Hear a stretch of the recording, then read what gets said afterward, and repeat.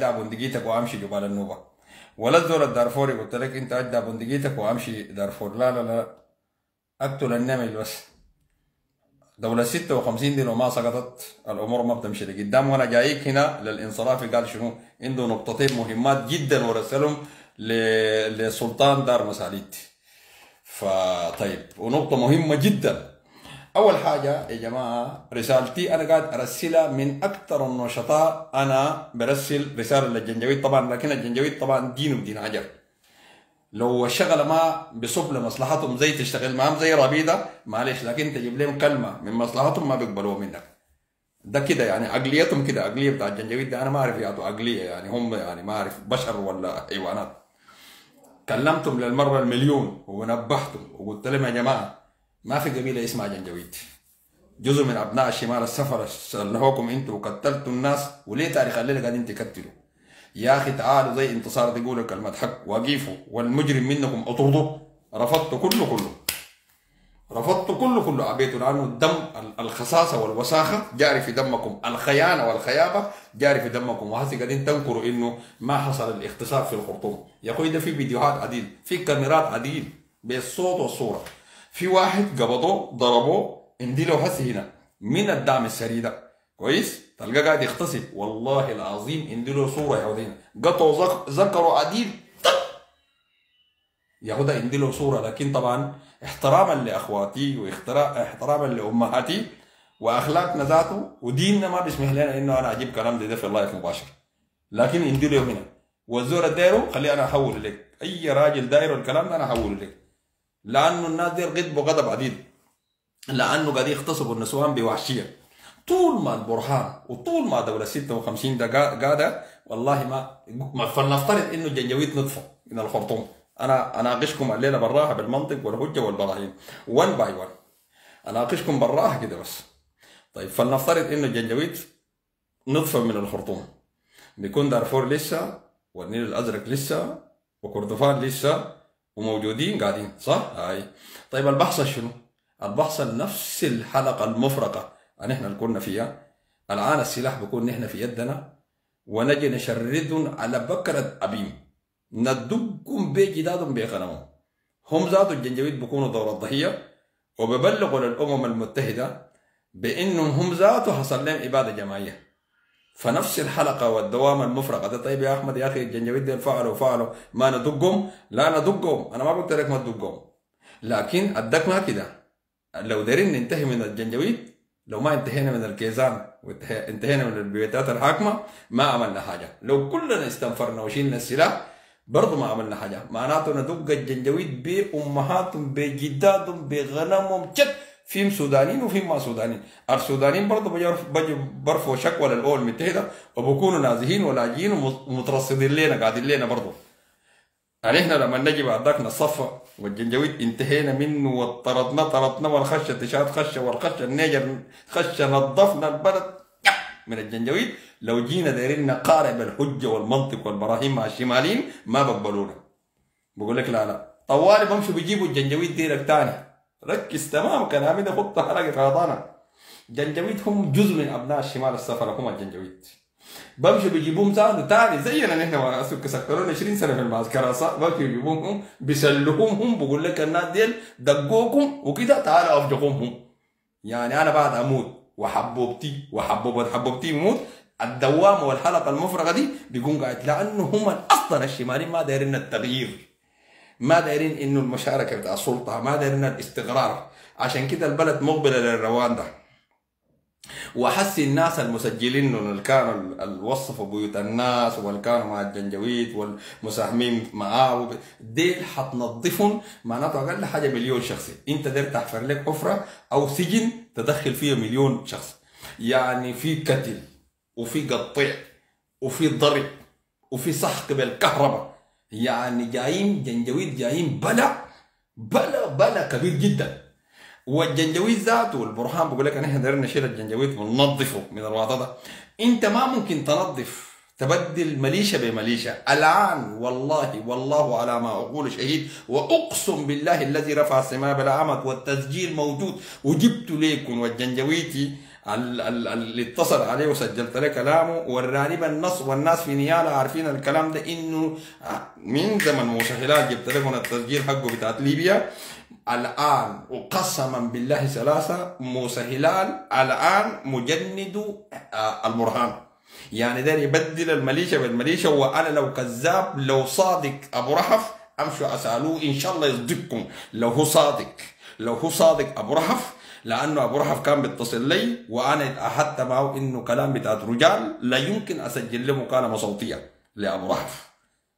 أنا لا يمكن قلت له شوف أنا أنا لو حتى اختلفت معك أنا راجل وترجال ما بسجل لك مكالمة صوتية لأنه أنت مشهود لك إنك أنت راجل وترجال واشتغلت والله. لكن أنا شخصيا ما بسجل لك مكالمة صوتية لأبو رحف. وأسألوه لو صادق وعنده دين وبخاف الله ها وبيتحاسب يوم القيامة أسأل أبو رحف عديل قال لي يا أخي نحن والله متأسفين جدا إنه نحن والله يوم دعمنا لأبو قرون وموسى هلال. والله جد. دعموا موسى هلال ودعموا أبو قرون. وموسى هلال تابع لأبو قرون. هم ناس الصهوة عشان يجوا يدقوا لهمتي والكلام ده حصل بالتنسيق. عشان كده عبد الواحد ها؟ هو يا كلاب بتاع عبد الواحد. اتفق معاه عشان كده جابوا بريده بيروت وسلموا المناطق في دارفور. وجابوا من من من هنا؟ من من اسمه؟ من ليبيا؟ لغايه السجان والله جد قسما بالله ثلاثة والله على ما أقول شهيد. والله أنا طبعا بيتصلوا لي الالاف لكن في ناس أنا ما ممكن يعني ناس اشتغلوا في البلد ده ما ممكن أسجل لهم مكالمة صوتية عشان أثبت لكم إنه فلان قال وقال لكن أمشوا أسألوه خليه يصدقكم خليه يكون رجل ورجال يقول له أيوه أحمد كسر قال الكلام ده كده كده والكلام ده حقيقة. طيب أنت داير تبدل مليشه بمليشه أنت داير تخش منو يعني شوف جزء من أبناء الشمال السفل الملايين ها؟ الملايين. فطول ما هم ما سقطوا من السلطة دي والله العظيم ما ما هتلقوا خير. بكرة نحن هنسلح وحندق الجنجويد وحنفجقه وحنجي نطالب بحقوقنا. تاني يجيبوا الجنجويد يسلوه وسلوه ذاته مش يجيبوه. هو سلوه لنا مسهلان الآن الكيكل. اسمع الكلام ده كويس. الكيكل. والكلام ده قالوا بالنص من عظمة لسانه. قال ان إحنا ان إحنا ذكروني يا جماعة. عليك الله في زول يضرب لي عشان بكرة أجيب الفيديو ده. ما كل يوم أقول الكيكل وما أجيب اسباب عاديل قال يا أخي ان إحنا ان إحنا آه قال نحن كان اتجنتنا لبرنامج واحد اثنين ثلاثة. والكلام ده انتو ما وفيتوا الشرط اللي نحن اتجنتنا عشانه. سلخوا البرهان وادوا سلاح ودراع الشمال اسمه سموه دراع السودان. كان جندوا ضد الحركات المسلحة. والحركات المسلحة ما ضربوا. يعني قال لك مكوت ولا المهم حصل خلاف في النهاية بقى جنجويدي انضم مع الجنجويد واستنكر كل ال كل ال استنكر كل ال ال الاغتصاب والقتل والقمع والتشريد بتاع أبناء الشمال ده استنكر تماما. وقال عديل بالنص قال يا أخي لو كان الزول ده كان تشادي ما كان بقى نائب رئيس الجمهورية في المجلس السيادي استنكر أنا ما قد أستنكر الكلام ده. أنا يوم استنكرت إنه ما حصل اغتصاب الشماليات مستحيل لكن طبعا أنا حبشت البرهان زي الكلاب بتاعت الواحد لما احبش سيدهم ده بجي نط اللي بركبهم كلهم. إنتوا كشماليين أنا لما أدق البرهان مع شخصية عامة أنت ما تسكت. تجي تردوا لي بالتعليقات بقول لكم كلوا كلوا بعض. إنتوا جبتوا. إنتوا قلتوا دقوا الأب بالأب إحنا قلنا لكم دق العربي بالعربي. أنا كلامي قلته في اللايف ذاك بجيبه هنا تاني بثبت لك حاجة قلتها ما بنكرها راجل وترجال بقولها تاني. بكرر لك تاني أنا ما قاعد أنكر من كلامي. ولا بتشوف كلامي ده حتى لو يديني أنا بقوله للمرة المليون. أنتوا قاعدين تنبذوا لي إذا شخصية عامة أي شخصية عامة ما عندك ما شغلة. هسه إيمانويل مكرون ده لو نبسته في فرنسا بيجي برد عليك ما له لأنه شخصية عامة. كلكم أقليتكم أقلية بتاعت عنصرية وجهويه نشوف هنا الانصرافي قال شنو في الكلام ده. طيب. والله جد أبو رهف أنا لا يمكن أسجل لأبو رهف مكالمة. لأنه راجل وترجال وراجل واشتغل. طيب. طيب اسمع الانصرافي هنا قال شنو؟ اسمعوا هنا الانصرافي قال شنو؟